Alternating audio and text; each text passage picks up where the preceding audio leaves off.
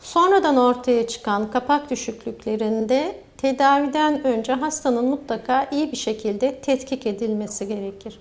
Hasta muayeneye geldiği zaman birlikte başka bir hastalığının olup olmadığını bilmemizde fayda var. Örneğin diyabetik hastalarda geçici olarak göz kapağı düşüklüğü meydana gelebilir. Bunlarda herhangi bir tedaviye gerek yoktur.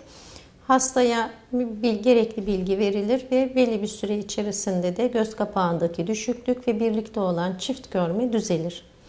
Bir takım kas ve iskelet sistemi hastalıklarında ortaya çıkabilir. Bunlarda da e, yapılacak olan tetkikler bize hastalığın teşhisini koydurur. Örneğin miyastenia.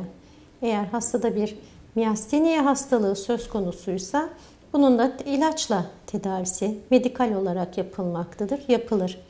Bazen de bir e, beyin veya göz arkasındaki tümörün veya bir kanamanın ön belirtisi olabilir.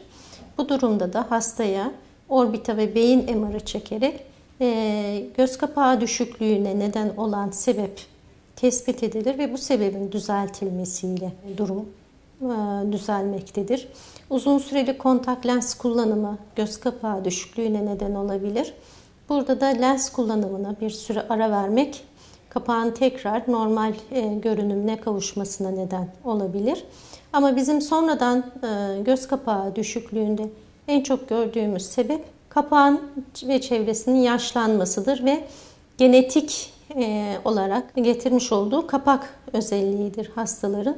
Bunlarda da eski resimlerini görmek isteriz hastaların. Resimlerine bakarız, kapak düşüklüğünün ne zamandan beridir var olduğuna bakarız, ölçümlerini yaparız ve cerrahi müdahale ile bir kapağında ise bir kapağı, iki göz kapağında kapak düşüklüğü varsa iki göz kapağındaki düşüklüğü aynı anda lokal anestezi altında kaldırırız.